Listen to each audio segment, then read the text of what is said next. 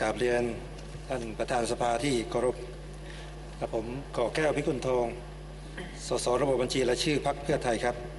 เมื่อทานครับผมเห็นด้วยกับพระราชกำหนดทั้งสองฉบับเป็นอย่างยิ่ง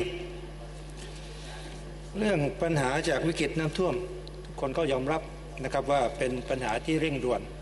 เป็นปัญหาที่สำคัญที่สุดของประเทศ พอๆกับปัญหาวิกฤตทางการเมืองนะครับ เป็นปัญหาที่คนไทยต่างตระหนักและห่วงใยกัน ทุกๆคน ทุกคนยอมรับว่าเรื่องนี้เป็นเรื่องที่เร่งด่วน ไม่ตั้งสารรัฐนูญก็ยอมรับว่า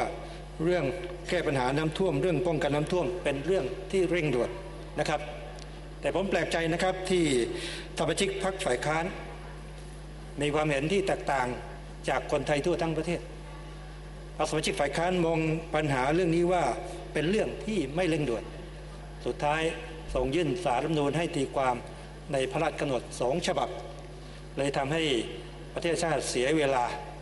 รอการตีความไปเป็นเดือนเดือนๆแทนที่จะได้เดินหน้าเริ่มโครงการก่อนหน้านี้ก็ต้องมารอที่ดูสิครับ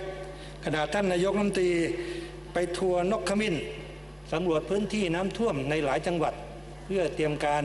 รับมือป้องกันปัญหาน้ำท่วม แต่พรรคฝ่ายค้านเอง ยังพยายามยื่นกระทู้สด ให้ท่านนายกต้องมาตอบกระทู้สด ในกระดาษท่านเองมุ่งไปที่การแก้ปัญหาแสดงว่าพรรคสมาชิกฝ่ายค้านนั้น มีความเห็นที่ค่อนข้างแตกต่างจากคนไทยทั่วทั้งประเทศท่านประธานครับวันนี้ถ้าเราติดตามข่าวหนังสือพิมพ์ฉบับหนึ่งนะครับจะเห็นข่าวที่น่าตกใจนะครับ มีข่าวว่าบริษัทยักษ์ใหญ่ของญี่ปุ่นนะครับ บริษัท Elpida Memory Inc. ผู้ผลิตชิปคอมพิวเตอร์และชิปสมาร์ทโฟนรายใหญ่ที่สุดของประเทศญี่ปุ่น ได้ยื่นต่อศาลกรุงโตเกียว ขอให้คุ้มครองการล้มละลายของบริษัทครับด้วยภาระหนี้สินกว่า 1 7 0 0 0 0 ล้านบาทครับ บริษัทยักษ์ใหญ่ของญี่ปุ่นรายนี้ ยื่นขอคุ้มครองต่อศาลโตเกียว โดยให้เหตุผลว่าที่ล้มละลายล้มละลายนั้น ด้วยปัญหาสองประการ ประการที่หนึ่งคือปัญหาเรื่องจากราคาของชิปสมาร์ทโฟนนั้นราคาตกต่ำลง จากสภาวะการแข่งขัน และปัญหาที่สองนั้น ส่วนหนึ่งมาจากการที่ประเทศไทย เกิดอุทกภัยครั้งใหญ่ที่สุดในรอบ 50 ปี ส่งผลให้ชิป ขาดตลาด สายการผลิตของบริษัทนี้หยุดชะงักไม่สามารถส่งมอบสินค้าได้ครับ ท่านท่านครับ ข่าวนี้เป็นข่าวที่ดังไปทั่วโลก นักลงทุนทั่วโลกต่างหันหน้ามามองปัญหาที่เกิดขึ้นในประเทศไทย ว่าปัญหาวิกฤตน้ำท่วมนั้น ได้ส่งผลให้บริษัทยักษ์ใหญ่ของญี่ปุ่น ซึ่งได้ยื่นล้มลายครั้งนี้เป็นการยื่นล้มลายที่ใหญ่ที่สุดเท่าที่เคยมีมา ทำให้บริษัทหลายหลายประเทศ เกิดความไม่มั่นใจท่านครับ วันนี้รัฐบาลทำถูกทางแล้ว ที่ต้องเร่งสร้างความมั่นใจ โดยการทำทุกวิธีทางในการป้องกันน้ำท่วมไม่เกิดขึ้นอีกครั้งหนึ่ง เพราะฉะนั้นการที่รัฐบาลออกพระราชกำหนดให้อำนาจกระทรวงการคลังกู้เงิน3ามแสนห้าหมื่นล้าน เพื่อทำระบบป้องกันน้ำท่วมนั้น จึงเป็นเรื่องที่ถูกต้อง และเป็นเรื่องที่เร่งด่วนที่ผมให้การสนับสนุนเต็มที่ครับท่านประธานครับ วันนี้ถ้าเราไปดูข่าวต่างๆ ในหลายนิคม ในหลายบริษัท หลายห้างร้านที่เขามีศักยภาพเขามีเงินเขาลงมือทำเขื่อนป้องกันน้ำท่วมทำกำแพงป้องกันน้ำท่วมทำทุกสิ่งที่จำเป็นเพื่อป้องกันน้ำท่วมแล้วครับ แต่รัฐบาลเองไม่มีเงินครับ ต้องรอพระราชกำหนดนี้ เพื่อกู้เงินมาใช้ เพื่อไปลงทุนการป้องกันน้ำท่วมครับทำให้เราเสียเวลามาเป็นเดือนๆ ส่วนอีกพระราชกำหนดหนึ่งก็คือเรื่องการปรับปรุงการบริหารหนี้เงินกู้ที่กระทรวงการคลังนะครับโอนหนี้โอนบริหารการจัดการหนี้ไปให้กองทุนฟื้นฟูนะครับ 1.14 ล้านบาท อันนี้ผมก็เห็นด้วย เพราะว่าเป็นการบริหารจัดการหนี้นะครับ ในเมื่อเราสร้างหนี้แล้ว เราก็ต้องบริหารการจัดการหนี้ ที่จริงพูดถึงหนี้กองทุนฟื้นฟู ผมเองก็รู้สึกเสียใจนะครับว่าหนี้ของกองทุนฟื้นฟูก้อนนี้นั้นที่จริงไม่น่ามากขนาดนี้หนี้ของกองทุนฟื้นฟูนั้นที่มากถึงหนึ่งกว่าล้านล้านบาทนั้น ก็เป็นผลพวงจากความผิดพลาดของรัฐบาลในอดีตนะครับ ที่ได้มีการตั้งบรสหรือองค์การเพื่อการประรูประบบสถาบันการเงิน มาจัดการหนี้สิน ของสถาบันการเงิน 56 แห่งที่ถูกปิดในช่วงนั้น ทรัพย์สินและหนี้สินของ 56 สถาบันการเงินถูกปรสดำเนินการ แต่ปรากฏว่าปรสสมัยนั้นนะครับ ได้เอาทรัพย์สินของสถาบันการเงินจำนวน 851,000 ล้านบาท มาประมูลขายในราคาแค่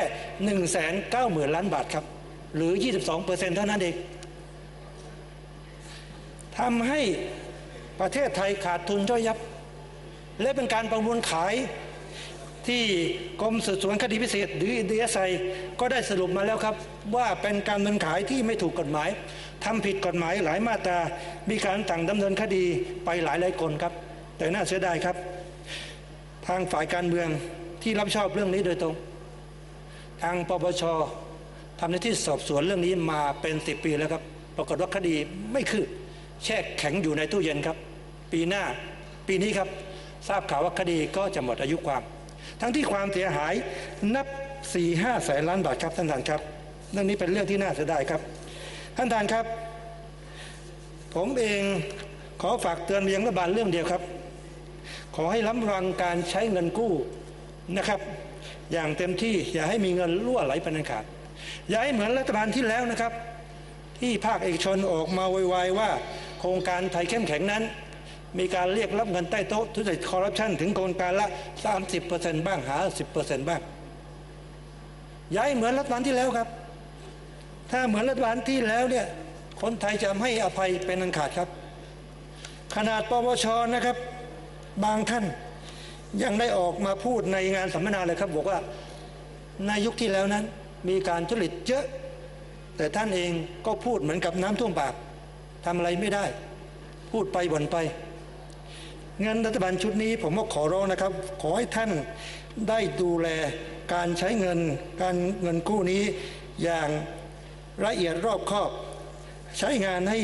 เต็มประสิทธิภาพ และอย่าให้คนไทยผิดหวัง อย่าให้มีการล่วไหลไปในขาดและเขาบอกนะครับว่ารัฐบาลชุดนี้ไม่เหมือนรัฐบาลชุดก่อนหน้านี้รัฐบาลชุดนี้ไม่มีเส้นครับ ถ้ามีข่าวทุจริตคอร์รัปชันเพียงเล็กน้อย ท่านก็จะอยู่ไม่ได้ครับ ท่านไม่มีภูมิคุ้มกัน